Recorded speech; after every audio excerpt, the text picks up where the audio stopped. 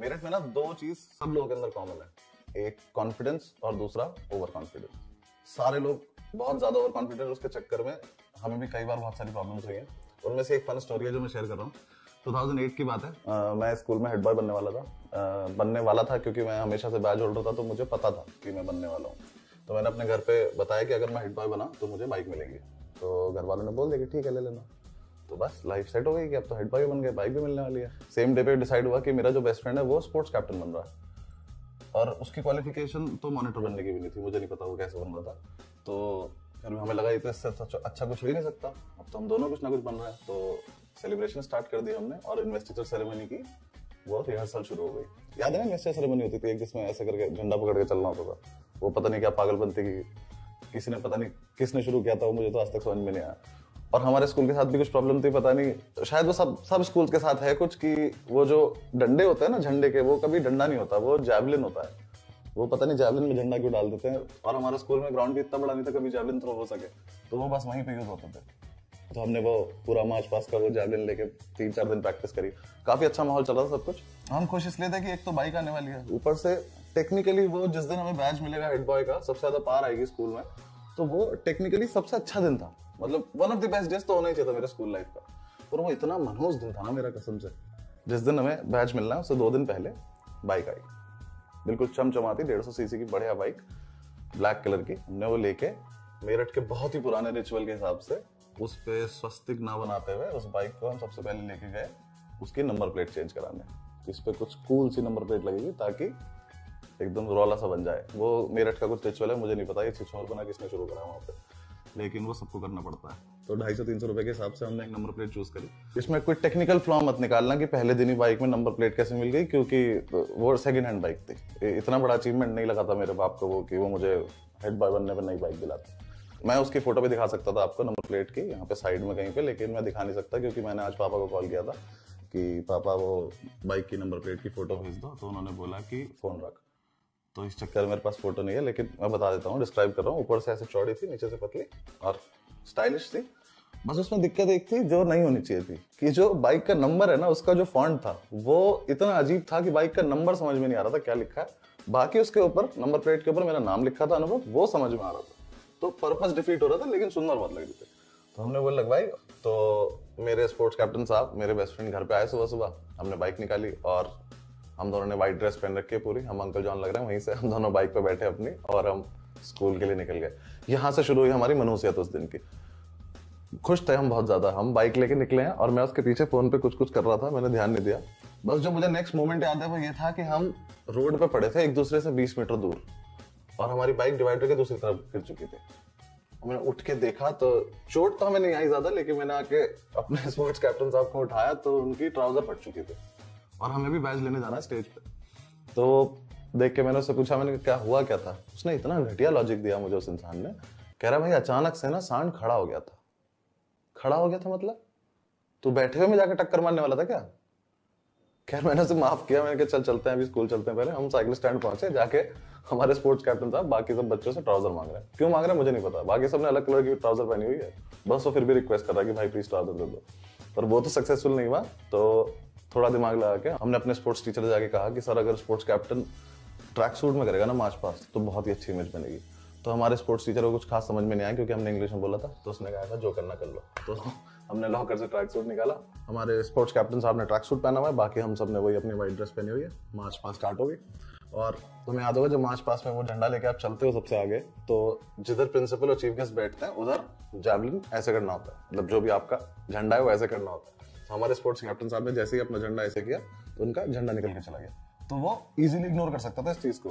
पर उसे फिर भी पता नहीं क्यों लगा, उसने जैवलिन वहीं पर गाड़ा और वो झंडा लेने चल दिया अपना। अगले चार पाँच मिनट तक उस मार्च पास की सिमेट्री इतनी खराब हुई है, ऐसा लग रहा है पूरा स्कूल जुम्बा कर रहा हो। पता नहीं चीफ गेस्ट क्या देख रहा था वहाँ बैठ के। फिर भी हमने अपनी इमेज थोड़ी सी बचा ली वो थोड़ी देर में ठीक कर लिया। और हम उसके बाद वो बैच लेने गए स्टेज पे। तो जब मैं स्टेज पे गया, मैंने बैच देते हुए देखा तो हमारे जो प्रिंसिपल सर थे, वो थोड़े बुज़ुर्ग से थे। तो उनके ऐसे हाथ काँप रहे थे। और जिस बंदे के हाथ काँप रहे हो, आप उससे बैच नहीं लगवाना चाहोगे, क्योंकि बैच यहाँ लगता है और बहुत ही डेलिकेट एरिया है बैच लगवाने के लिए। तो मुझे मतलब पहली बार, उस टाइम भी लगा था कि शायद निप्पल रूह निकल जाएगी, अगर मुझे पिन चुप गई हो तो। I can also show the photograph जहाँ पे ये हुआ था तो मैंने क्या किया पॉकेट पे लगवा लिया उनसे। मैंने कहा, सर पॉकेट पे लगा लो प्लीज़ आप शर्ट पे लगाओ मत, मैं बाद में जाकर ठीक कर लूँगा। वो लगवा के, फिर पूरे दिन स्कूल में हम बढ़िया, पूरे टशन में घूमे सिक्स सेवन क्लास के लड़कों को तो वैसे थप्पड़ मार दिए कि आज तो हेड बॉय बने, आज क्या कर लोगे ये वो। काफ़ी बढ़िया इंटरेस्टिंग दिन रहा हमारा। लेकिन हमें ये नहीं पता था कि अभी हमारी मनहूसियत यहाँ से शुरू होने वाली है। तो जैसे ही छुट्टी हुई, हम वहाँ से अपनी बाइक लेके निकले। हमारे स्कूल के पास एक दुकान थी, शंभू भैया थे हमारे, जहाँ पर हम बैठ के चाय सुट्टा समोसा ये सब करते थे और सारे लोग जनरली स्कूल के बाद वहीं पर मिलते थे। तो हमने डिक्लेयर कर दिया कि वहाँ पे पार्टी है, आ जाओ सब लोग। सब लोग वहाँ पहुँचे हम। तो शंभू भैया की शॉप के आगे हमने जाके अपनी बाइक लगाई और वो बाइक जिस हिसाब से लगाई, उसे पार्किंग तो नहीं कह सकते। हमारी कोशिश थी कि जो नंबर प्लेट है वो उसे मैक्सिमम ऑडियंस मिल सके तो देख लो, ताकि पता नहीं क्या शो ऑफ़ होता है उस एज का ये। ढाई सौ, तीन सौ रुपये में लग रहा था पता नहीं हमने क्या अचीव कर लिया लाइफ में, कि सब लोग देखें। वो हमने ऐसे बाइक लगा के अंदर चले गए। वहाँ चाय सोटा और समोसा चल रहा है, बढ़िया। इतने में एक हवलदार आए, उन्होंने आके बाइक पर डंडा मारा। मुझे ये नहीं पता कि वो क्या ओवर कॉन्फिडेंस था मेरा और मेरे बेस्ट फ्रेंड का, कि हम दोनों ने इग्नोर कर दिया उसको। उसने वहाँ से बोला बाइक किसके? हमने जवाब ही नहीं दिया। पता नहीं क्यों? उसने नंबर प्लेट पढ़ी, उसने नाम पढ़ा, कहता, अनुभव कौन है? तो मैंने दूर से हाथ उठाया, मैंने कहा, मैं. तब तक मुझे बिल्कुल नहीं समझ में आ रहा था कि मैं ऐसा क्यों कर रहा हूँ। मैं, मुझे लग रहा था मैं ठीक कर रहा हूँ, जो भी कर रहा हूँ। उसने मुझसे कहा, बाइक की चाबी दो। तो मैंने जेब से चाबी निकाली और मैंने ऐसे फेंक के दिया। मैंने कहा पकड़। उसने चाबी ली और वो चला गया वहाँ से। उसने जाके वो जीप में दी चाबी। जीप में से ना एक पुलिस वाला उतरा। वो जो पुलिस वाला था ना, वो मनुष्य तो नहीं था। तुमने पाताल लोग देखा होगा, उसमें हाथीराम चौधरी है ना? उससे चार पाँच गुना बड़ा हाथी निकला उसमें से। मैं लिटरली बता रहा हूँ आदमी इतना बड़ा था कि उसे खुद में अपने आप को थाना बोलना चाहिए। वो निकला है, हमने उसे देखते ही थोड़ा सा हमारा कॉन्फिडेंस डाउन हो गया। हमने ये तो नहीं एक्सपेक्ट किया था हमने कि ऐसा कुछ भी हो जाएगा लाइफ में। वो आया हमारे पास, वो आके बाइक पे बैठा। उसने हमसे बुलाया कि इधर आओ, सब लोग। तो हम चले गए, हमारे शंभू भैया भी खड़े कर लिए उसने, सब लोग हम जाके पहुँच गए, हम खड़े। लेकिन वो फील इतनी अच्छी थी ना कि हेड बॉय बने आज तो, तो लग रहा था कुछ तो अचीव कर ही लिया लाइफ में तो कोई फ़र्क नहीं पड़ रहा था कुछ खास। तो उसने हमसे कुछ कुछ बात करनी शुरू करी चश्मा वश्मा उतारा खड़ा। ये सीन चल रहा है प्रॉपर तभी हमारा एक दोस्त गुल्ला कहते थे उसे हम क्यों कहते थे? आज तक किसी को नहीं पता। वो स्कूटर लेके आया अपना। उसने आके स्कूटर लगाया बिल्कुल वैसे ब्रेक मार के जो घिसटते हुए आता है वैसे आकर रुका। जैसे वो वहाँ आया तब उसे रियलाइज़ हुआ कि यहाँ पे कुछ हो रहा है। पुलिस वाले ने उसका स्कूटर देखा और उससे चाबी मांगी तू भी दे दे क्योंकि उस स्कूटर की नंबर प्लेट ब्लेड वाली थी। उस पर तो बिल्कुल ही समझ में नहीं आ रहा था कि क्या नंबर है इसका। तो उसने उसकी भी चाबी ले ली। हम तीनों खड़े में सामने। उसने मुझसे पूछा कि तुम कौन हो? मुझे नहीं पता कि मैंने क्या सोच के बोला कि मैं अपने स्कूल का हेड बॉय हूँ। तो उसने वही बोला जो कोई भी नॉर्मल आदमी बोलेगा इस सिचुएशन में कि तो? तो मैंने उससे कहा कि, सर ये देखो बैच भी है। तो उसने दिखाया कह रही है तो मेरे पास है। मैंने कहा, लेकिन मतलब आपके बैच में तो आपका नाम लिखा है ना। ऐसा तो मेरा नाम तो मेरी बाइक पे लिखा है। इसमें कौन सी बड़ी बात है? तो थोड़ी देर तक तो देखता रहा कह रहा अच्छा ठीक है। फिर वो नेक्स्ट पे आया। तो उसने स्पोर्ट्स कैप्टन साहब से कहा, तू कौन है? कह रहा, मैं अपने स्कूल का स्पोर्ट्स कैप्टन हूँ। मैं कहा अच्छा। वो तीसरे पे आया गुल्ले पे। उसने कहा, तुम कौन हो? गुल्ले ने इतनी घटिया बात बोली। कह रहा, मैं अपने स्कूल में पढ़ता हूँ। उस पर कुछ था ही नहीं बताने के लिए। पुलिस वाला वापस शुरू हुआ, वहाँ से कहता, अपने घर पे फ़ोन लगाओ। गुल्ला, इतना हरामी आदमी, कहता, मेरे घर पे फ़ोन ही नहीं है। स्कूटर पे आया अच्छे खासे? बोलो, मेरे घर पे फ़ोन नहीं है, हम लोग तो बहुत गरीब है, हमें बहुत दूर जाना पड़ता है फ़ोन करने के लिए। तब तक वो पुलिस वाला थोड़ा समझ गया था कि अच्छा ठीक है थोड़ा थोड़ा मुस्कुराने लगा था। उसने स्पोर्ट्स कैप्टन साहब से पूछा कि अपने घर पे फ़ोन लगाओ। ये महाशय कह रहे हैं, मेरे पापा ही नहीं है। अरे तो घर पे फ़ोन लगा दे ना किसी और को लगा दे। और उसने इतना सीरियसली बोला, एक सेकंड के लिए तो मुझे भी लगा शायद इसके पापा नहीं है, क्योंकि मैंने कभी बात तो करी नहीं इससे इस बारे में। उसके बाद उसने मुझसे कहा अगर अपने पापा को फ़ोन लगाओ। अब मेरे पास कुछ नहीं था बहाना बनाने के लिए, मैंने कल लगा लो सर। उसने कहा, नंबर बताओ, मैंने नंबर दिया। पुलिस वाले ने फ़ोन किया मेरे पापा को। उन्होंने बिल्कुल वैसे ही बिहेव किया जैसे आज किया था मेरे साथ। जब मैंने उनसे नंबर प्लेट की फ़ोटो मांगी थी। पुलिस वाले ने पूछा, सर, आप कहाँ हैं? पापा बोलते, कोर्ट में। तो उसने कहा, आप लॉयर हैं? कहते, नहीं, मेरा केस चल रहा है। उसने फ़ोन ही रख दिया। मुझसे कह रहा, आपके पापा क्या करते हैं? मैंने यही करता जो बताया आपको भी। कह रहा अच्छा ठीक है, आप एक काम करो, तीनों लोग उठो थाने चलो। तो हमें ये तो लगाने की हमने ऐसा कोई बहुत बड़ा अपराध तो नहीं किया, लेकिन कभी जीप में नहीं बैठा था, हमने कहा, चलो, बैठ लेते कॉन्फिडेंस तो कम हो नहीं रहा था ना कहीं से कहीं तक भी। तो हम तीनों जाके उसमें बैठ गए। दो हवलदार हमारे स्कूटर में बाइक लेके पीछे पीछे आ रहे हैं। मतलब ऐसी हद थी कि पुलिस का थोड़ा तो खौफ हो। जीप में बैठे हुए हैं, थोड़ी दूर जीप चलिए हमारे स्पोर्ट्स कैप्टन साहब मुट्ठी खोल रहे, समोसा खा कोई? हमने तो देखा, हमने कहा, बहुत ज़्यादा मारेगा ये आदमी, देख तो ले इसका साइज़ वहाँ से वो हमें थाने लेके गया। थाने में जाके उसने हमें खड़ा कर दिया। हम तीनों एक दीवार से लग के खड़े हुए। हाथीराम जी आके अपने टेबल पे बैठे। ये चल ही रहा था सीन कि हमसे बात करना चाहता ही था। इतनी देर में हमें पता चला कि गुल्ला मेरठ के सबसे रईस लोगों में से एक है। अचानक से दो एसयूवी आके रुकी, उसमें से उसके पापा उतरे, इतनी मोटी मोटी दो चेन पहन रखी गले में, वो थाने में आए।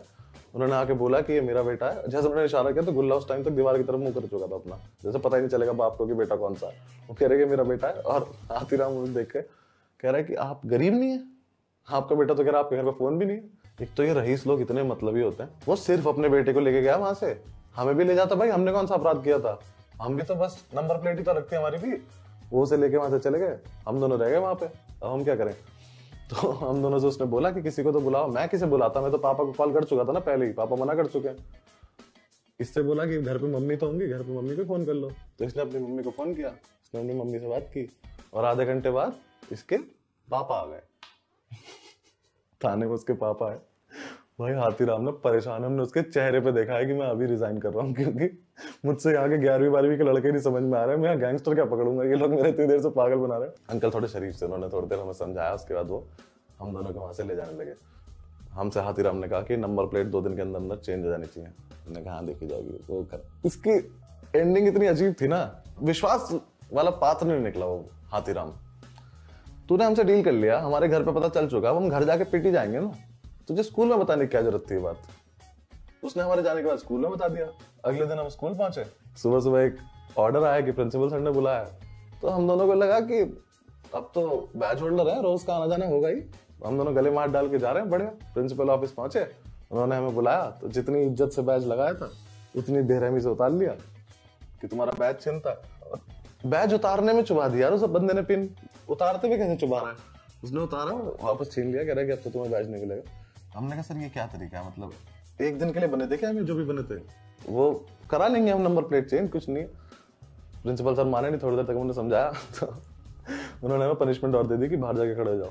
पहली बार स्कूल के इतिहास में ऐसा हो रहा था कि जो हेड बॉय और स्पोर्ट्स कैप्टन है वही पनिशमेंट में खड़े हुआ तो हम दोनों बाहर जाके पनिशमेंट में खड़े हुए। एक तो हम इतना तो पता था कि एक ही स्कूल में तीन दिन के अंदर दो इन्वेस्टिगर सेरेमनी तो होंगी नहीं। तो मिल तो जाएगा ही बैच वापस। एक दो दिन बाद हमें वहाँ से बैज वापस मिल गया। लेकिन हमें लगा कि इससे एक बहुत इंपॉर्टेंट चीज़ हमें सीखने को मिलती है कि जब भी हम कुछ अगले एक साल तक गलती करेंगे ना, ये लोग हमारा हमेशा बैच छीन लेंगे। तो हमने सबसे पहले तो एक चीज़ करी कि मेरठ में दुकान पता करी कि बैच कहाँ बनता है, जहाँ से स्कूल वाले लेते हैं। तो हमने जाके सबसे पहले दस दस बैच बनवाए। कि दस दस बैच बनवा लेते हैं अपने। जब भी कोई टीचर छीनेगा, दूसरा लगा लेंगे, हमें फ़र्क ही नहीं पड़ रहा। जो करना करो। जब हम बैच बनवाने भी गए थे ना, वहाँ जाके भी मेरा स्पोर्ट्स कैप्टन कह रहा है, भाई प्रिंसिपल का बनवा देता है। हाँ स्कूल का नाम लिखवा लेना, यहाँ पे बैच पे स्कूल का नाम लेके घूम लेते हैं। हमारे इस पर्टिकुलर इंसिडेंट का तो तुक्के से पता नहीं कैसे हमारे साथ इतना प्यारा एंड हुआ कि तीन चार दिन बाद हमें पता चला कि जिस पुलिस वाले के साथ ये पूरा इंसिडेंट हुआ था, उसका ट्रांसफ़र हो गया। और जैसे की बात हमें पता चली, हमने पूरे स्कूल में फैला दिया कि हमने कराया। हमें हमारी नंबर प्लेट चेक करने के लिए दोबारा कभी नहीं रोका गया, वहाँ पे उस एरिया में। उन्हें लगता था इनकी नंबर प्लेट को रहने तो एक साल की बात है, ये तो बहुत ही पावरफुल लोग हैं। और शंभू के अगले छह महीने तक हमसे पैसे भी नहीं लिए थे, कि ये तो चाय समोसा फ्री में खाएँगे, कोई दिक्कत नहीं है। उस एक इंसिडेंट से इतना प्यारा मेंटेन हुआ ना, आगे के छह सात महीने मज़ा आ गया समझो तो हमारे साथ तो सब कुछ ठीक हो गया था, लेकिन ज़रूरी नहीं आपके साथ भी हो। अगर आपके साथ ऐसा कुछ भी हो तो थोड़ा केयरफुल रहना, ज़्यादा ओवर कॉन्फिडेंट बनने की ज़रूरत नहीं है। हमारा तो ठीक ठाक हो गया था फिर भी। चलिए।